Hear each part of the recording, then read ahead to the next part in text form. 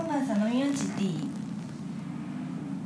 なんかねこの間のアイスクリーム屋さんから変なビデオもらったの。ビデオクリップだって。うん。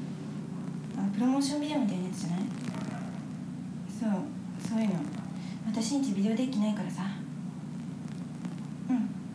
分かった。じゃあ今晩行くね。うん。バイバイ。